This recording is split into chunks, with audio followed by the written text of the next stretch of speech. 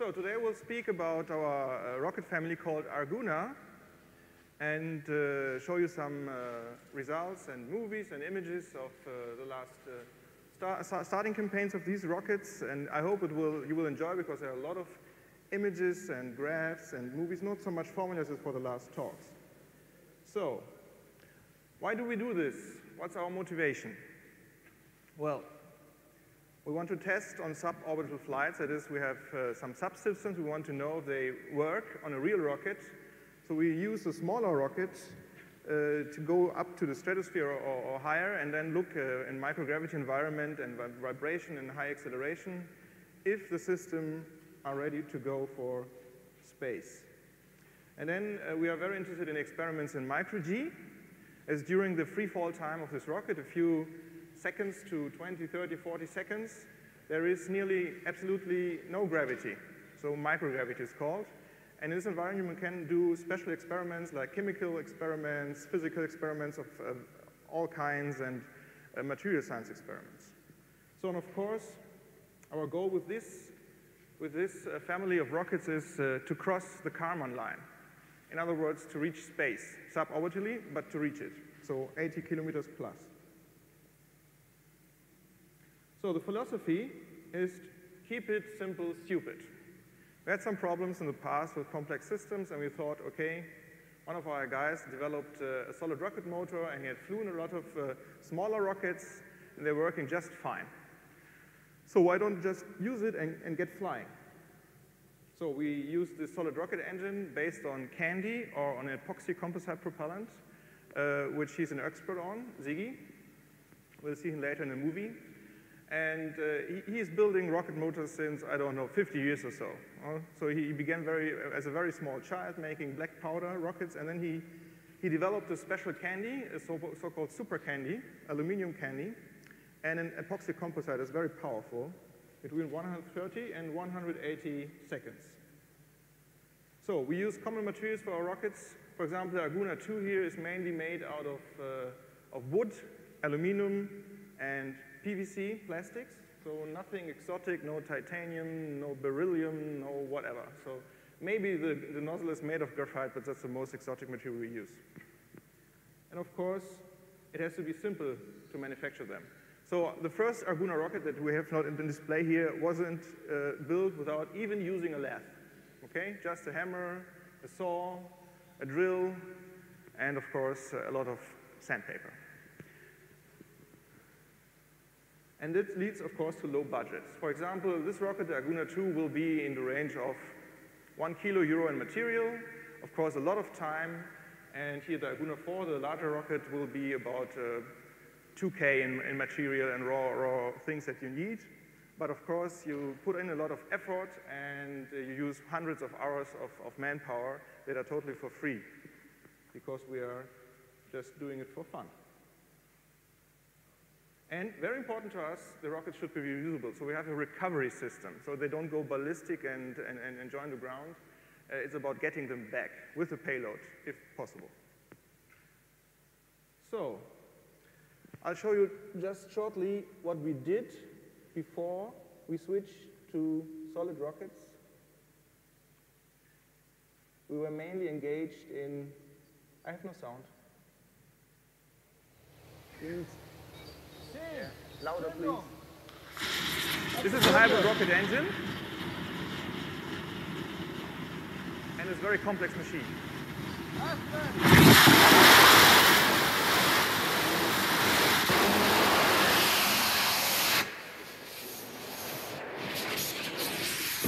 And sometimes things go wrong. So we worked on these hybrid engines for about uh, seven years, and this was in 2001.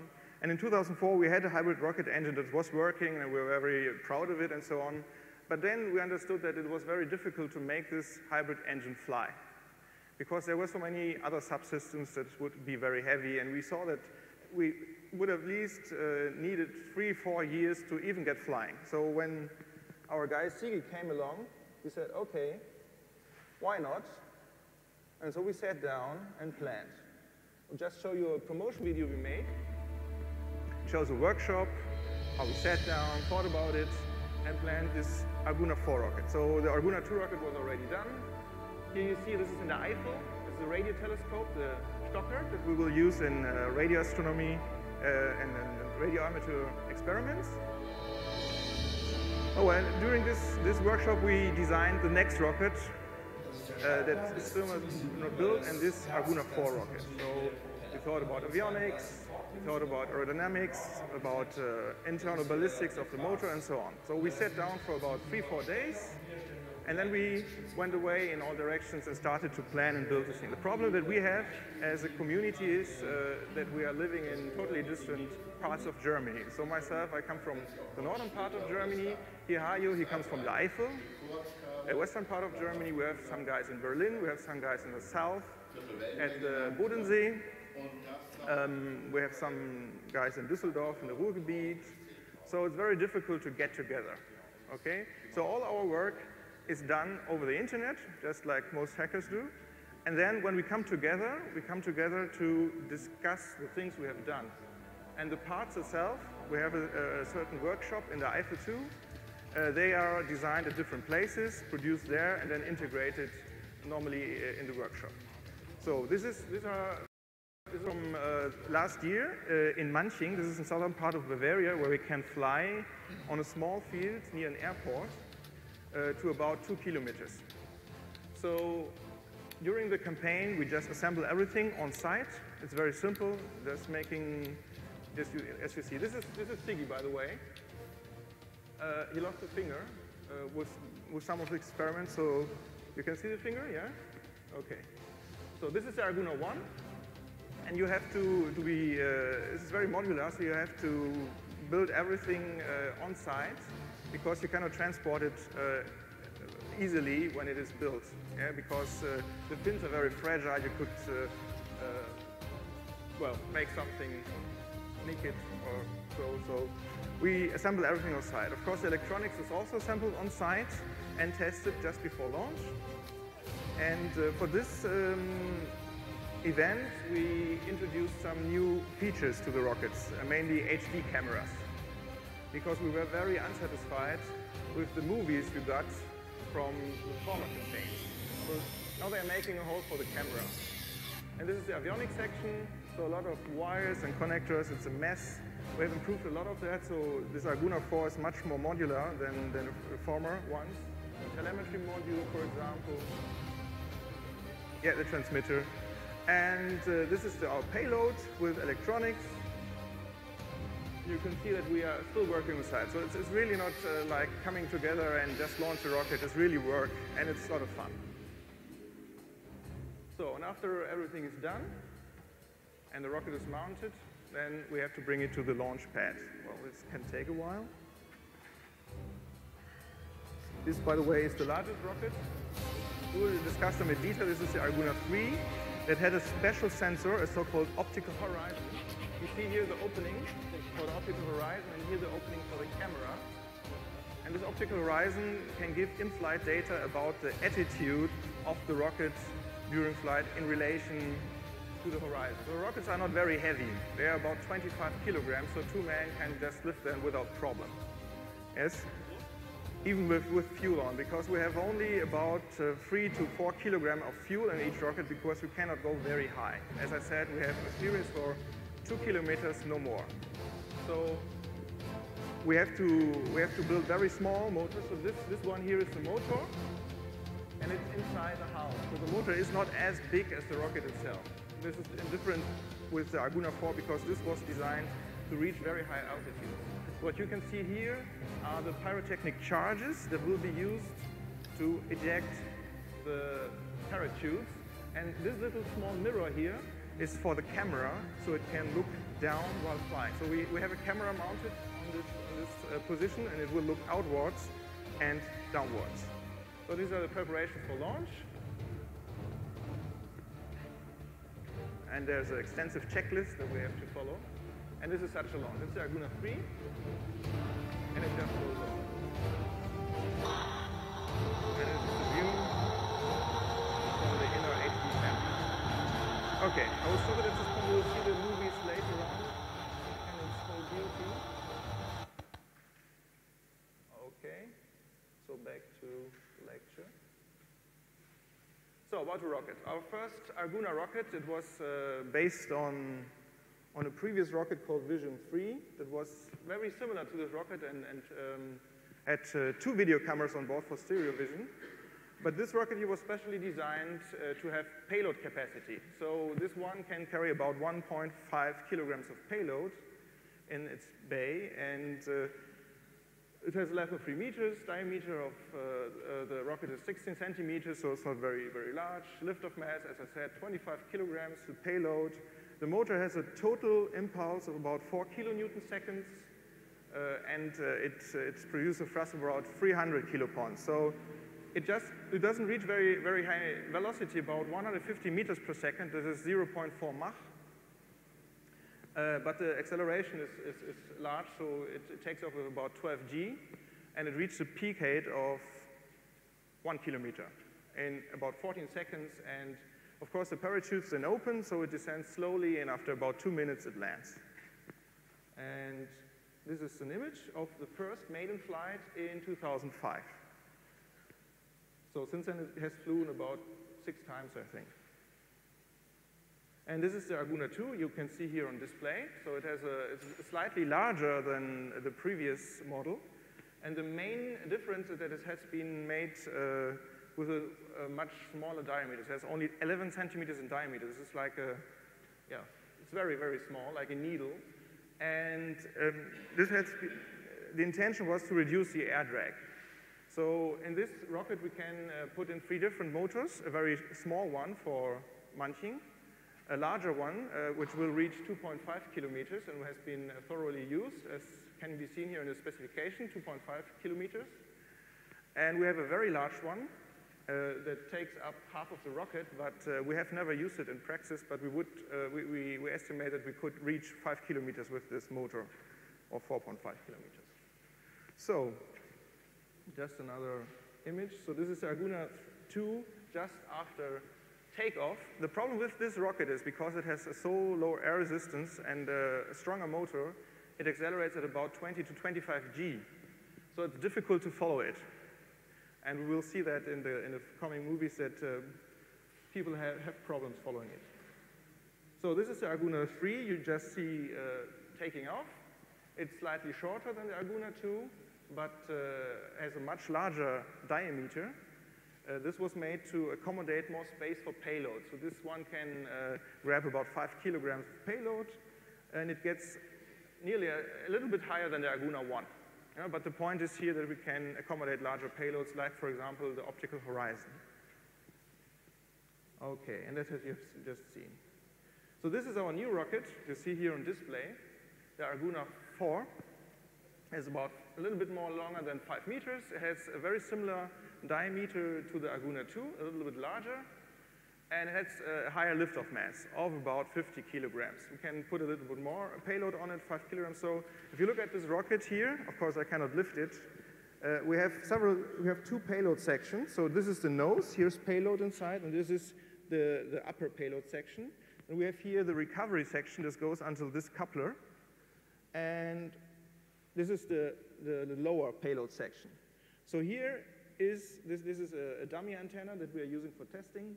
Uh, here is a radio beacon inside and the inertial navigation we'll, will uh, talk about in a few seconds and uh, some other experiments. And in the upper section we have telemetry that relays GPS information and the information of the scientific payload.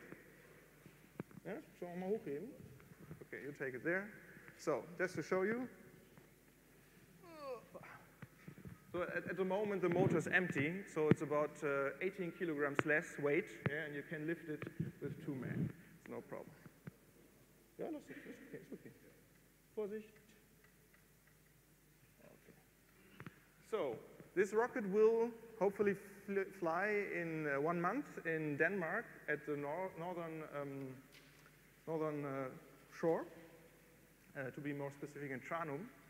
And if uh, the weather is not, uh, not appropriate, that happens sometimes in Denmark, then we have another launch window in October in Poland, in Drawsko Pomorskie. And from our estimation, from our calculations, we'll reach something between 8 kilometers, depending on the elevation, to 10 kilometers.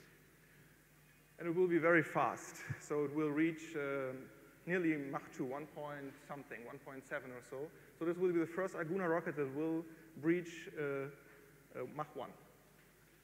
Oh, by the way, uh, the starting tower you can see here, it's 8 meters long. Uh, you, you, surely wonder why use such a, a, start tower for such a small rocket. Um, the thing is that we are building another rocket, the Arguna 5, that will be slightly less large than this, but uh, very much heavier. So we need a longer tower uh, so the uh, rocket can reach a velocity to be stable after clearing the tower. Okay, now I will show you some videos from our last campaign of these three rockets that have already flown. Um, let's start with, yes, let's start with this one. This was in, in Bergen. This is in, in a training ground in the northern part of Germany. And this is, this is a military place, so everything is, is, burned and, and destroyed and full of ammunition. And we had a permit to launch there with the uh, University of, of Bremen. And this is the Arguna 1, and it will go in this flight to about 900 meters. Sound, please?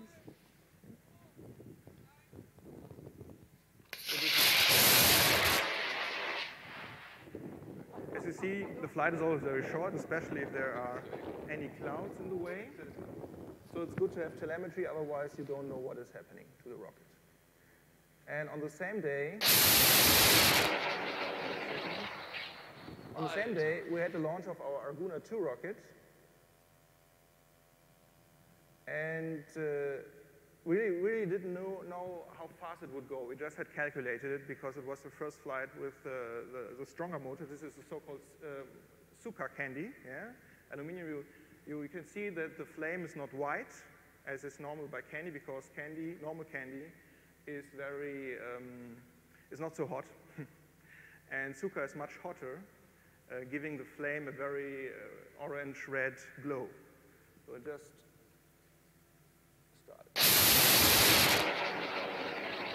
So that's all you see of the rocket. Uh, you count to three or two, and it's gone. And indeed, it was gone this day.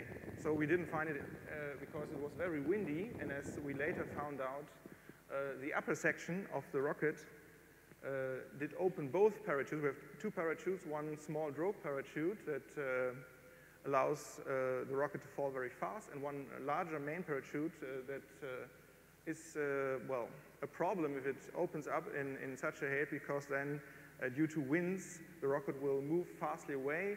And we didn't find it that day, and uh, after we, we, we thought we had lost it. Yeah, we, we, we, we had a radio beacon on it, but uh, on landing, the radio beacon just silenced, so we couldn't find it again. And then we had a call four weeks later from the Bundeswehr that someone had been uh, wandering around, his dog had found a rocket. Okay, so we got our rocket back, but it was pure luck. Okay, so let's see then last year in, in Denmark, we launched again the Arguna 2, same configuration with Suka motor, and we told the people it will be very fast. And the military was watching us with a Doppler radar, and before us, there was some uh, school kids. They were launching their small rockets uh, all day long, and these rockets don't go out of sight. They are not very fast uh, compared to Arguna. So everybody was expecting something like that.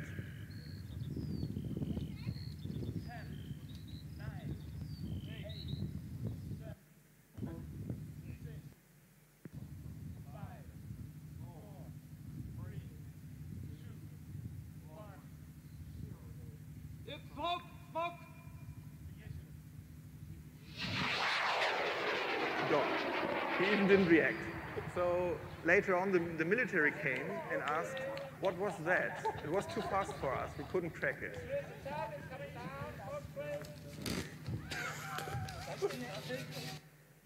So then uh, one month later, we flew the three rockets in, in Manching, in the southern, uh, uh, in, in Bavaria.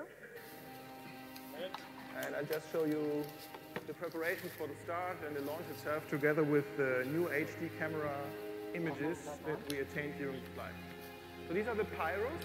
The pyros are a backup, a redundancy, because we want to have our, our, our rockets back, and it's common knowledge that uh, parachutes tend to not to open if you have only one backup system, uh, uh, only one recovery system, because electronics can fail, especially due to acceleration and vibration.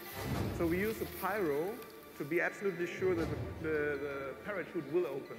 So this is the plate, and you can see the plate is already quite demolished due to all the rocket motors working on it. And uh, yeah, okay, just just watch the launch. So in parallel, you can see the images of the HD camera. And here's the airport. A wonderful uh, day with a blue sky, so it was very easy to follow the rocket because it only gets to about one kilometer shade, as you said. If you watch closely, it's difficult. Uh, now the parachute is opened, and when the rocket is hanging on the parachutes, it starts to moving very rapidly because it has no active uh, atti attitude control. So the images, of course, are very moving too. And the, the darker, well, this is, these are the woods. On the other side, uh, there, there is a lake or some, some lakes. So you really have to launch and, and land this, on this uh, piece of grass, otherwise your rocket gets lost. Okay.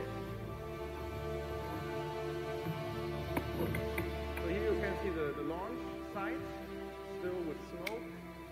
This, this little thing that you saw was a test of a pyrotechnic device we will use on the Arguna 4. Okay, and this very nice.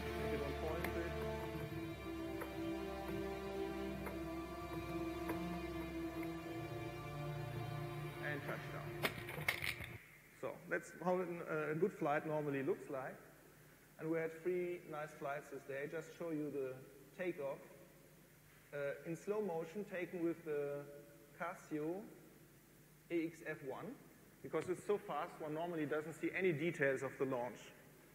Yeah, so as you can see, I think this is 300 frames per second or, or even more, 600. Um, first the pyro goes off. This is the, the, the redundant uh, pyro for the parachute. And then when we visually see, okay, pyro has, has ignited, then the motor is ignited, right just afterwards, manually. And when it does so, this rocket uh, accelerates at about uh, 11, 12 G. And when it leaves uh, the ramp, it has about 120 kilometers per hour, increasing. So after 0.67 seconds, it has maximum thrust. Okay, we'll see that later. The other, the other second rocket, the Arguna 2,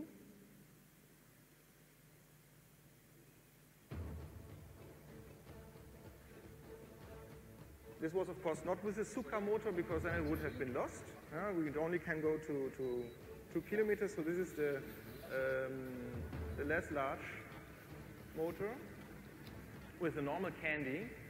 And here the last preparation are done. This is the, the upper pyro, the lower pyro, and okay. Yes, very long rocket. So here below, Sigi is just uh, preparing the igniter. Fünf,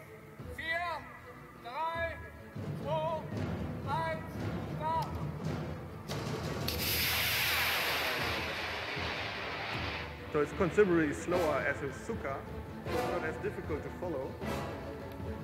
And then very nice images.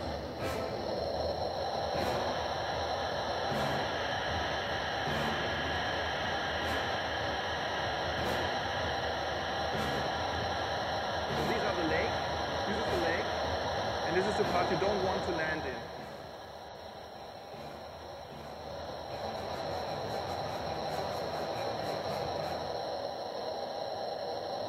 Now the now the rocket is slowing down and tumbling. Very smooth. This is microgravity now. It's falling. Then the sensors react, or the pyro, who's first. and then hopefully the parachute opens, like for example now.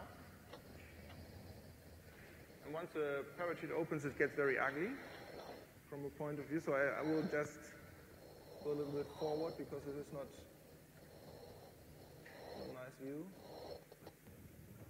So we were very close to the lake this time. You can see sometimes still the smoke trail uh, from, from the starting point. Uh, it's very, very bad uh, contrast here, but, but you can see the lake out there, and if we had landed in the lake, the rocket would have been lost.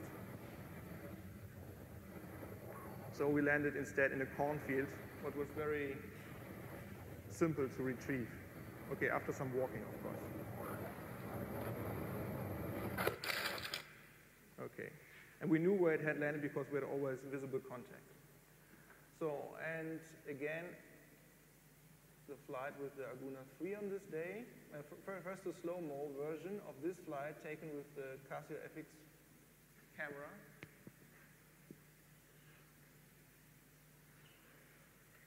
Again, first the pyro up will ignite. Yeah, you see the, the pyro burning and then you ignite the main motor. And this rocket has about, I don't know, 180 kilometers per second when it leaves the ramp. Oh, okay, and it's gone. So, and the third rocket on this day was the Arguna 3. There's the optical horizon. And this one was Suka because it's such a heavy rocket that you have to use Suka even to get to 8 or 1.3 kilometers. No, no, no, not, not due to the, to the weight, uh, due to the larger air resistance because it's very, very uh, large rocket uh, in diameter. Okay, so skip that part and go to the landing. Okay. Landing was very smooth and we could just pick it up and use it again.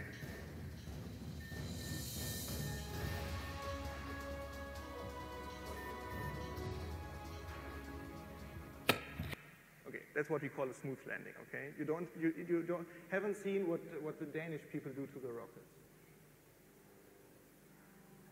So, to get back to our talk, We have, of course, payload on board. Um, I, I, talked yesterday about the avionics section. This is uh, the old version of the inertial navigation, called it INA, and it has mainly um, three accelerometers. Uh, this is these black guys here. And we have three uh, gyros on board. These are these uh, evaluation boards, here one, two, three. And one pressure sensor. And So you can measure with this module uh, the inertial, the inertial um, observables acceleration, angular velocity, and additionally the pressure that gives us uh, the height of the rocket above ground. So this is a payload of the Arguna 3, as you have just seen uh, it flee, fly. Um, we, had, we, had, two uh, data processing units on it um, with a propeller chip on it, and uh, one GPS module, and the INA, and the so-called optical horizon. And this here is uh, an improved version of the avionics you just saw. This is uh, the Red Queen, and it's uh, inside this rocket now. And we have these two sections, the lower section here that uh, contains one uh, data processing unit that uh, gets the inertial observables from the improved INA module and stores, stores this information on an SD card and then streams the data upwards to the upper section here through the recovery section. So there's a cable, an RS-232 interface leading up to this section here. And there is a second DPU, and this second DPU stores every information again on uh, an SD card, just to be redundant. And uh, it also measures uh, three observables, uh, the relative velocity with a Prandtl probe, the temperature with uh, RTD, and the pressure, the ambient pressure with uh, some pressure sensor. And uh, connected to this CPU is the GPS unit, so it will uh, relay over the telemetry uh, the GPS coordinates once uh, the parachute is deployed. So this is a view of the Red Queen GPU, as we cannot see them here. It's a very simple device. It's just a, a board 60 times 60 millimeters with one chip on it, and the rest is a lot of connectors and, and, and discrete stuff. So let's talk about results. Uh, this is from a flight of the Arguna 1. What you see here is a graph of the three accelera acceleration components in three dimensions, x, y, z. So z is the red component, and at landing we have a very large acceleration, larger than during uh, takeoff. So if you uh, let something fall, you can actually get very high accelerations. So this is uh, um, a zoom in of uh, the first 25 seconds of the flight. So at zero seconds, this is the ignition of the engine and liftoff. And you see that at the same time, you have, have a spike in the x direction and a little spike in, in y direction. This is due to the acceleration the rocket uh, feels uh, on the launch pad when going up the rail, okay? So then it leaves the rail at this moment, and uh, the acceleration of the rocket motor goes up to 11, nearly 12 g with a max uh, acceleration at about 0.7 seconds, and it burns for uh, 1.5 seconds longer, so after 2.3 seconds or so, the motor just shuts off, and no acceleration from the motor is, is, is measured. So instead, what we see is that, that uh, the acceleration goes into the negative. Maybe the motor is a little bit chuffing, maybe it's noise, I don't know, vibration or so. And what we see here, the envelope, is the air resistance. Yeah, so negative uh, acceleration due to air resistance. And then we enter of 10 seconds into the flight into an area where we measure no acceleration, only noise, so we are in free fall for about, in this case, four seconds. Then at 14.7 uh, seconds, we have a little jerk here. This is the ejection of the drogue chute. And the drogue chute expands one second later, and four or five seconds later, the main chute opens.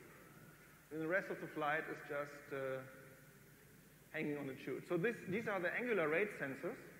And we see that here in front they are very, very, very calm, no movement, then something occurs, it's a launch, the flight, uh, zero gravity, and then the parachute opens, and it hangs on the parachute, and then it lands here.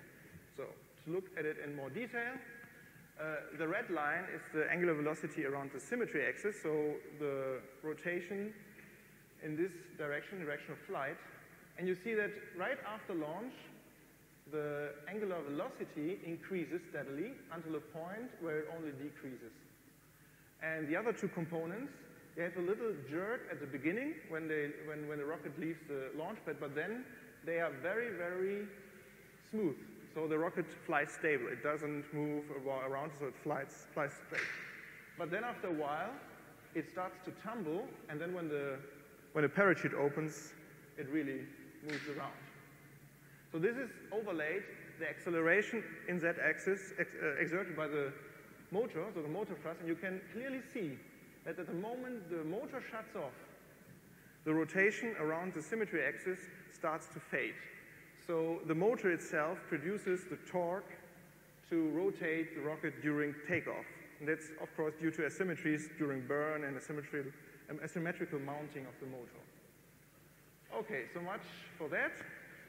As an outlook, I want to present you the Arguna 5. It's based on the Aerobee design from the 50s. And it will be a slightly larger rocket than the Arguna 4, but uh, much bigger in the sense that it has a larger diameter of about, I think, 27 centimeters. And uh, the lower section here, the lower section is the whole motor. So the motor will contain about 200 kilogram of propellant, uh, not of Suka, because Suka is too brittle uh, to be built in such large grains. There will be an epoxy composite that is much more stable. And we have two compartments, one for the recovery and the other one for the payload. Payload and the nose cone will uh, have also payload. So hopefully, next time we'll see us, uh, I will report on this rocket. So that's all for now. Thank you.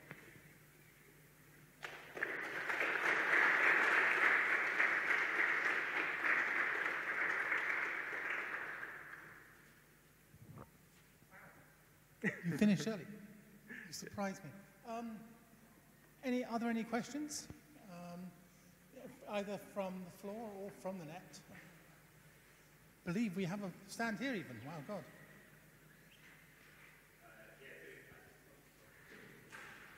Does it work? Okay. Uh, I was just wondering for the propellant, uh, you, uh, you call it candy. Is it actually sugar? And Yes. What is the oxidizer then? Yeah, okay. uh, It's, it's actually uh, sugar, that's why I call it candy, but, but there are a lot of sugars. Uh, sugar is every polyalcohol, and uh, there are people who use fructoses or glucoses, and we use sorbitol, which is a C5 sugar, and uh, has a melting point uh, uh, of about 130, 140 degrees Celsius. And what you essentially do while producing the grains is you just take a, pot, uh, put the sugar in it, melt it over time, of course, using a thermometer because if you heat sugar too much, it will caramelize. It's always a problem. And then we use sodium nitrate, sodium nitrate as an oxidizer, but you could, could use, of course use uh, kalium nitrate or whatever oxidizer you want to choose. But nitrates, uh, in our case, nitrates are, are uh, very, very stable, yeah, very stable. Um, um, and we, we add some aluminum, if it's sugar, to boost the specific impulse. Okay.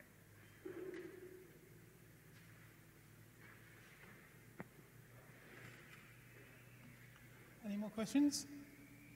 Uh, there's one. We've got- There's one. Uh, Hi. Is there any um, active control? Are you moving the fins or thrust vectoring or anything, or is it just going straight up? Yeah, at the moment it's only passive, passively stabilized. Uh, we, we are thinking about it, especially the roll, um, um, because uh, for, for the HD camera uh, it can take good pictures, but only if the, ca- the rocket is really uh, staying uh, s- straight and not, not rotating. And as you have seen from the gyro um, sensor data output, uh, due to the asymmetries in the, in the thrust profile, um, you get always rotation about the z axis.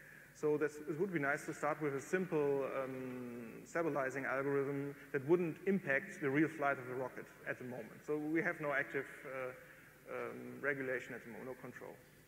It just flies passively. Okay. Okay, there's one question from the IRC. Um, Crocodilarian wants to know when do you expect to reach um, low Earth orbit, and do you expect to be able to launch a satellite into that orbit? Well, well, uh, we have no time schedule at the moment, but we are thinking about it. So uh, the Arguna 4 is a project to show that we can reach the stratosphere and get payload back, and uh, the Arguna 5, the project I just uh, mentioned, is, is, a, is a, um, a milestone uh, to reach uh, the space, but from there it is much more complicated to get into orbit. So we are thinking about it, but we need to uh, use a stage rocket, and we have to um, use another technology for propulsion because uh, this um, solid rocket engines they have specific impulses below 200 seconds, and that's not not not uh, enough to reach orbit. But we're thinking about it. Uh, ask me in five years. Okay. We have plenty of time, so if you please want to ask questions, we have good 15 minutes left.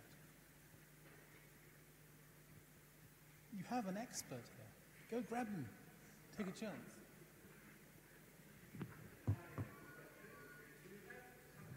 cooperation between you, your group, and the Copenhagen suborbitals, by the way? So- Um, no, sadly not.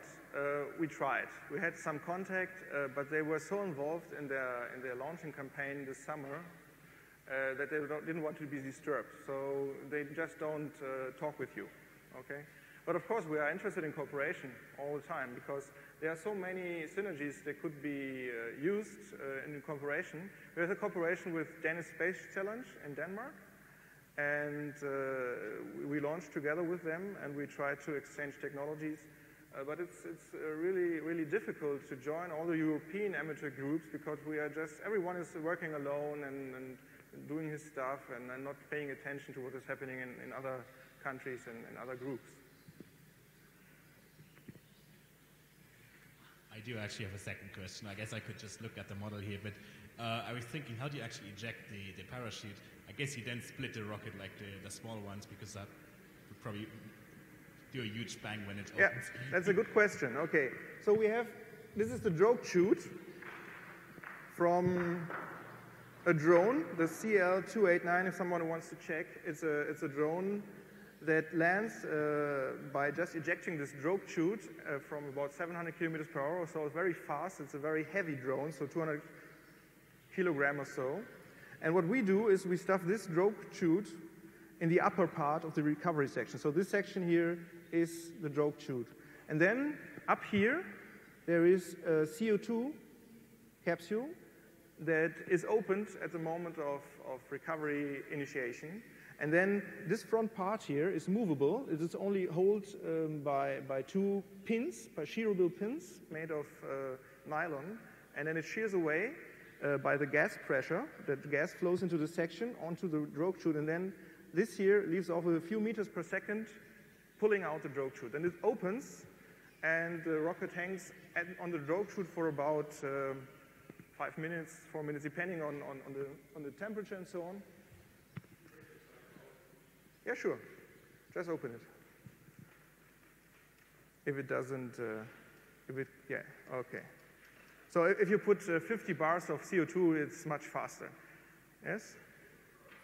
Yeah. So, and then there is the main chute. The main chute is, is, the, is the largest part, so something like that.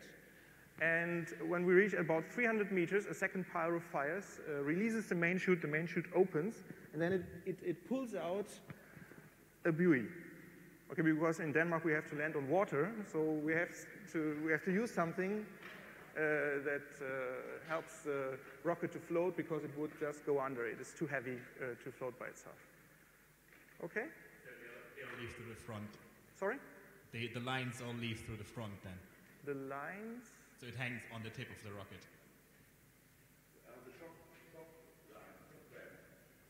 The, the chute is attached at the front of the rocket. Uh, the, the, the tube is ta- attached at this point here, and there are shock bands uh, leaving up to here, and, and of course the shock band has here extra protection so it cannot be ripped apart if there's Alright. some bending. Okay? Yeah. So, so at, at, the, at, at the drogue chute, the, the GPS antenna is positioned. So with the drogue chute, the GPS antenna is pulled out, and then uh, the, the rocket can get GPS information and telemetry relay to the ground station. That's the plan anyway. we'll see. Okay. By the way, uh, please uh, vote in the intranet on the talks. If you do so, don't complain about missing technical details because now you have the chance to ask. so please ask if anything comes to mind. There, there are no dumb questions.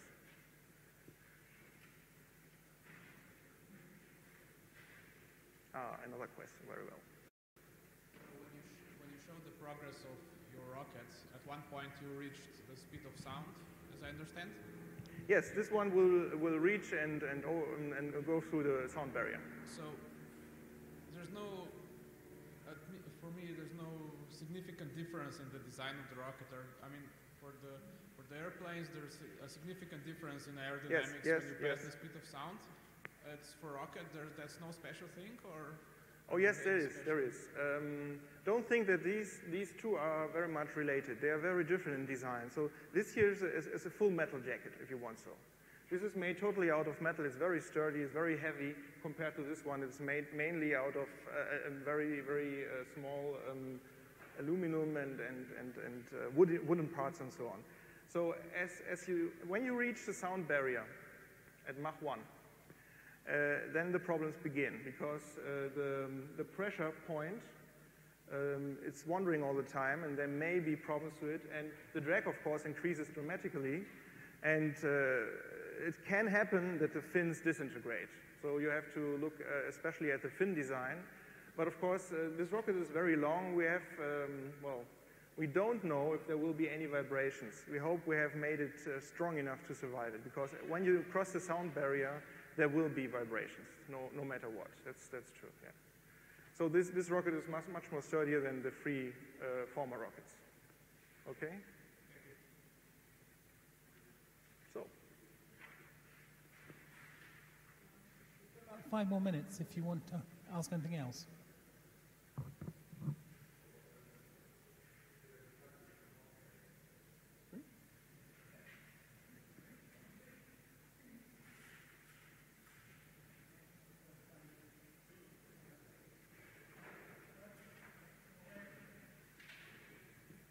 I guess it's my job to um, close this out.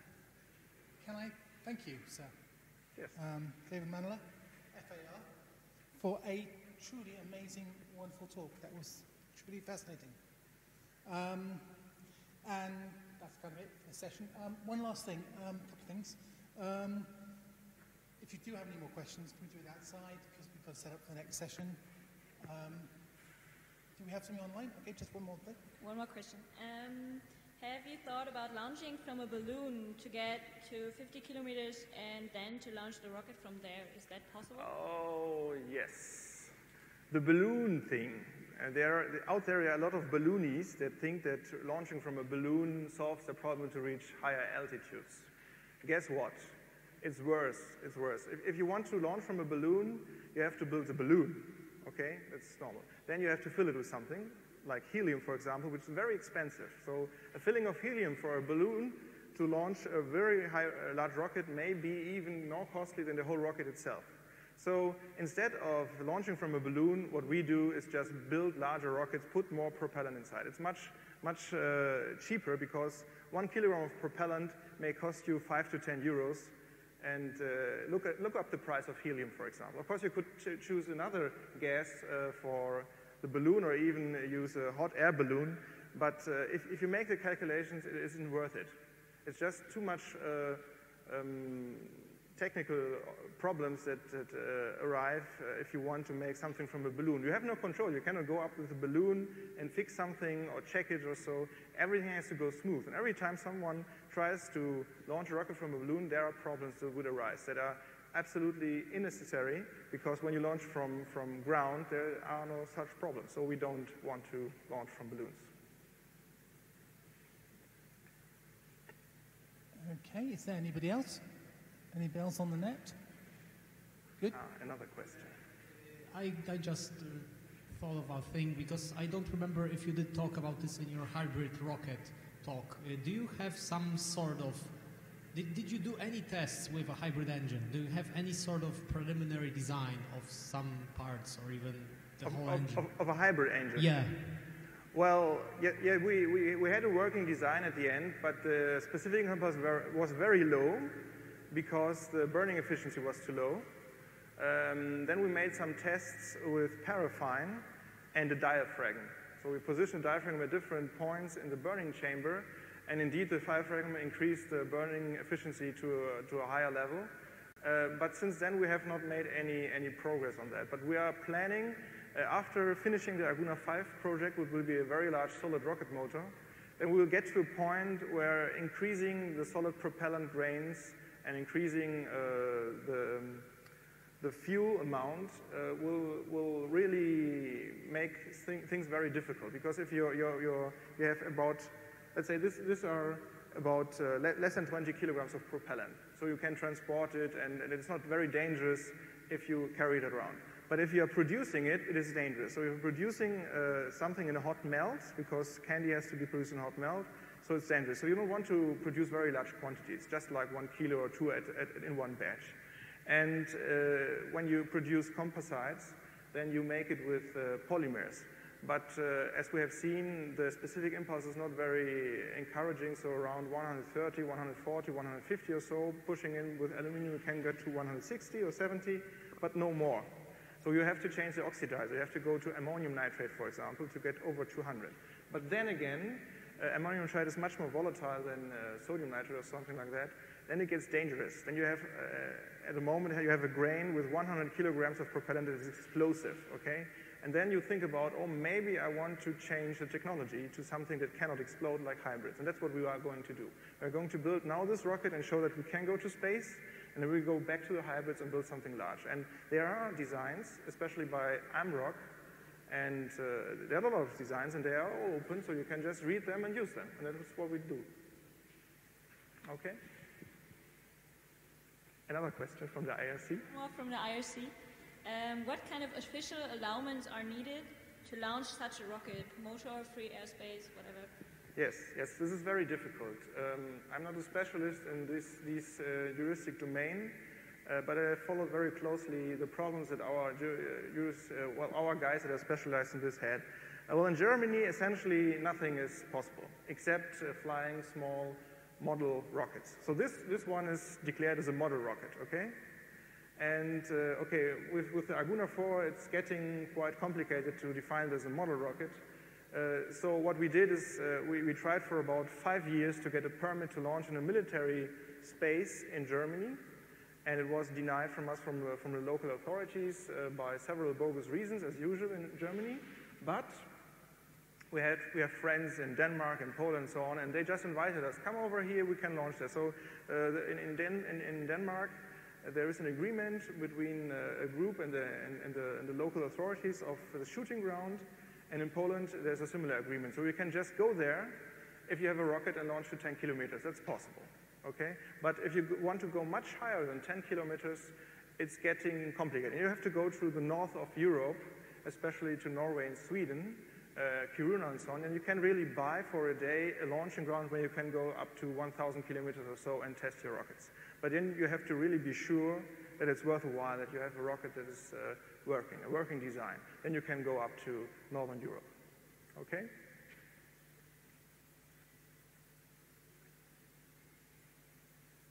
Is everybody done? Well, I'll do that again. Thank you. Thank you. Thank you for a really amazing session.